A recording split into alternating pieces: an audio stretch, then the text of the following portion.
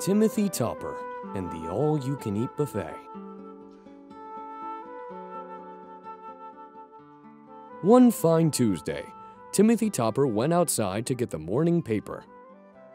As he skimmed the front page, one headline caught his eye.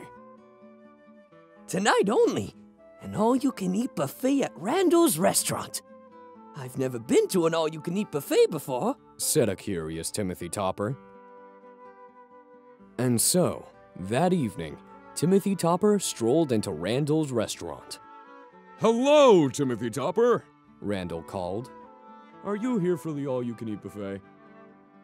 Yes, I am, replied Timothy Topper. How does it work? Well, Randall laughed. You either eat until you can't eat anymore, or until I run out of food to cook. Splendid, said Timothy Topper. And with that, he began to eat. And eat. And eat and eat. And eat and eat and eat and eat and eat. Until Randall ran out of food to cook. All of this eating has made me very sleepy, Timothy Topper said. So he waddled back home and went straight to his room.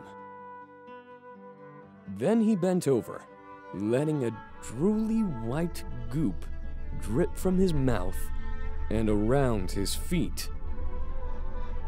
Slowly, but surely, Timothy Topper wrapped himself up until he was a big cocoon.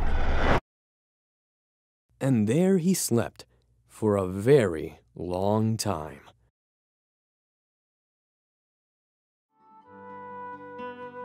But when he awoke, he was the most beautiful butterfly the town had ever seen.